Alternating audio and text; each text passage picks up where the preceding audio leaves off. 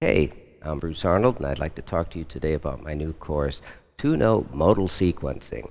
This is something that I've done throughout my life. Um, it's a great way to learn scales, it's a great way to come up with new melodic ideas.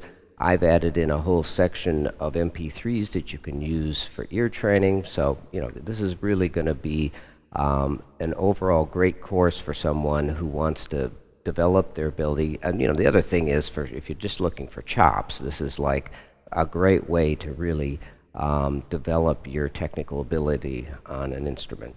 Uh, but let's talk about what scales are in this. Um, basically, I go through all two-note possibilities, uh, all the patterns with uh, the major modes, with the melodic minor ascending modes, three symmetrical scales, diminished, symmetrical, diminished, and whole tone, a couple of modes of harmonic minor, uh, harmonic minor and Mixolydian flat 2, flat 6.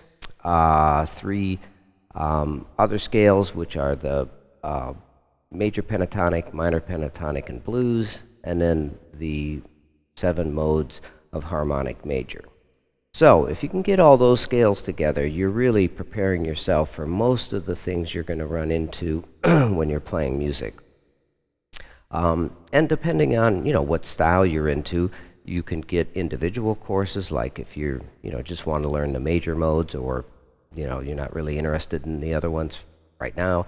Um, we have individual courses. I think the bundle is the way to go because you get it for a lot less money, and um, you know it's going to give you all the different scales because you're going to find you know sooner or later you're going to want to get into these other scales. Um, if you kind of look at the development that's going on, um, you, let's just take progressive rock, for instance. Um, you know, they're using all kinds of modes. Symmetrical diminished is a very common one. Uh, a lot of the modes of melodic minor ascending people are starting to use. So you can see over time, um, as musicians develop and you know looking for new sounds, they're exploring these new scales. So they're all here in this course.